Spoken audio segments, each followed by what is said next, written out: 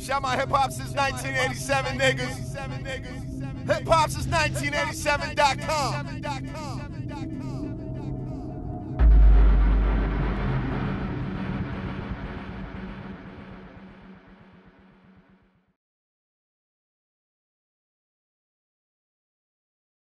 What it is, hip hop since 1987. It's your man Eldorado right now. We live in LA, but I got a Philly native with me doing big things in the NBA. It's warm outside, but it's feeling like Christmas time. I'm gonna let you introduce yourself. What's up, man? Dionte Christmas from Philly, man. Out here representing the Phoenix Suns, man. Holding it down. What's up with y'all, man? We we doing pretty well right now, but you just came off a phenomenal season with the Suns and whatnot. Basketball season is right around the corner. You're you're a Philly native, but we gave mention to you. Did your thing as a Temple Owl. Give us a little insight of how your season was last year and what that meant to you. I mean, it was good for me just because of my first year. Got my foot in the door finally, man. Long time coming for myself. But it was good, man, playing with uh, two two other Philly guys and the Twins and, you know, some other good players and Bledsoe and Dragic, man. It was just a, a great season. It was a humbling year for myself, man, but I learned a lot.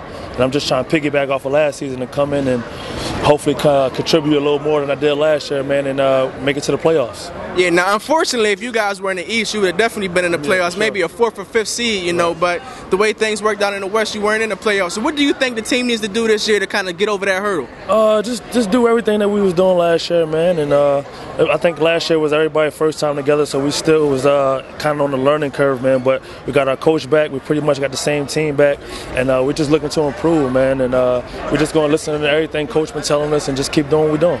Now, as you gave mention to your coach, Jeff Hornacek, this was his first season last year as a head coach, and he did major, major things and whatnot. Yeah. What are you expecting to learn from him this season? I mean, a lot, man. He's a, a, a great. He was a great player, and uh, he's a great coach, man. He's a, a, player's coach, and that's why I think we listen to him uh, the way we do, and that's why we respond to what he tell us uh, so well, man. Because he's a player's coach, and uh, all the guys we can relate to him, he can relate to us, man. So this year, man, he's coming in with the same mindset, and I think we're going in with the same mindset. Just uh, we, he's in the, in the, in the front, the driver's seat right now, and we're just uh, following after him.